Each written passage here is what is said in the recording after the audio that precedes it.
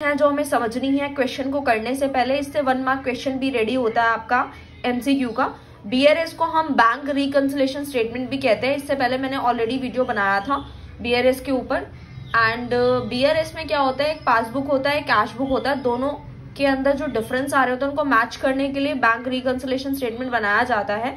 इसके अंदर जो कैश बुक होता है, उसका जो डेबिट बैलेंस होता है, वो प्लस में होता है और क्रेडिट बैलेंस माइनस को डिनोट करता है। और पासबुक में ये चीज़ उल्टी होती है, ठीक है? यानी डेबिट बैलेंस माइनस में होगा, क्रेडिट बैलेंस प्लस में होगा, ठीक है?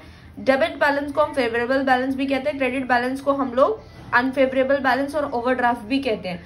अगर आप चाहते हैं कि आप एग्ज़ाम के एक दिन पहले हर एक चैप्टर को पढ़ के चले जाएँ या एक घंटे पहले रिवाइज कर लें तो आप यूट्यूब चैनल सब्सक्राइब कर सकते हैं। आपको बहुत ज़्यादा बेनिफिट होगा, आप एग्ज़ाम के एक घंटे पहले भी सारे चैप्टर कवर करके जा सकते हैं।